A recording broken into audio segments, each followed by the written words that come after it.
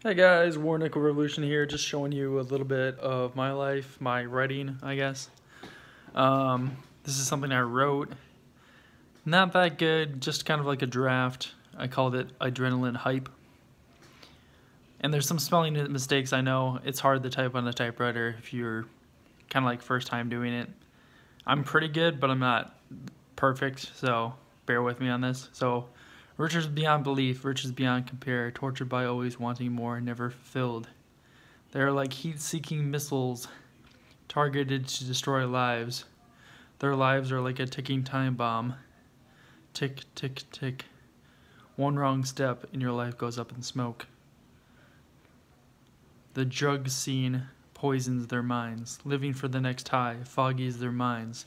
City life drawn to the concrete jungle for power, influence, and crime, living in the surreal scene as far as the horizon, drawn in by the setting sun, a beautiful distraction, distraction from the wealth, drama, and pain of this world. I need to write more and to go on and on, but um, this is just one of my poems that I've written on this typewriter. I've written quite a few, but I just thought I would show you guys this and share with you. Hope that's okay. And yeah, this is a Olympia typewriter. I had a video on this before. I do have to upload a video of me actually typing it, so I guess I could just do that now, type with one hand.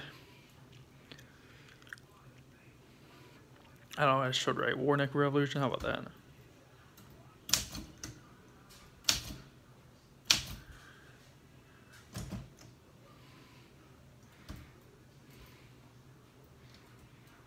this is hard typing with one hand. Hold on, let me do my right hand.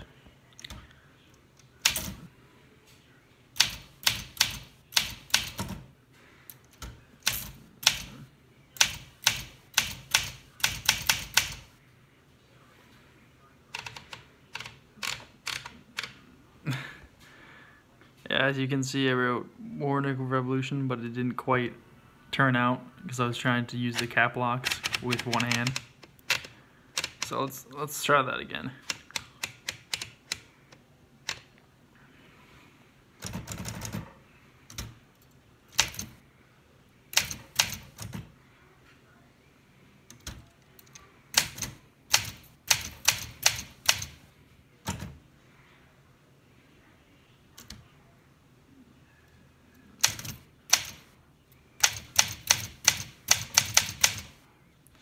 Definitely works better with two hands, guys. But that did turn out quite better than the first one. I wish I had a stand right now or like a my tripod I usually use, but I don't.